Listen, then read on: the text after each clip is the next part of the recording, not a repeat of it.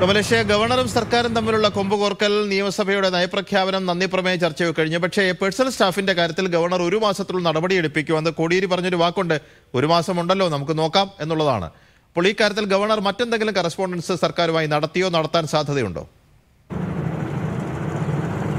ആ, കഴിഞ്ഞ ദിവസം ഗവർണർ ആവശ്യപ്പെട്ട രേഖകൾ ചീഫ് സെക്രട്ടറി രാജ്ഭവന് കൈമാറിയിരുന്നു. മന്ത്രിമാരുടെ പേഴ്സണൽ സ്റ്റാഫിന്റെ നിയമനം.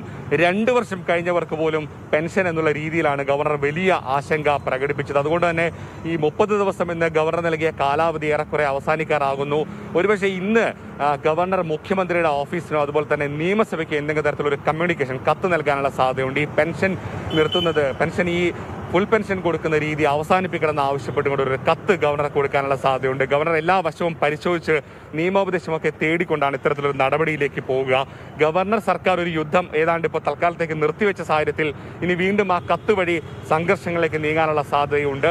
എന്തായാലും സർക്കാരിന്റെ നയപരമായ ഒരു അധികാരമാണ്. അതിൽ ഗവർണർക്ക് യാതൊരു തരത്തിലുള്ള റോളും ഇല്ലെന്ന് ഭരണപക്ഷം മാത്രമല്ല പ്രതിപക്ഷം കൂടി പറയുന്ന സാഹചര്യത്തിൽ ആരിഫ് മുഹമ്മദ് ഖാൻ ഏതറ്റം വരെ പോകുമെന്നുള്ളതാണ് ഇനി നമുക്ക് കാണേണ്ടത്. P G.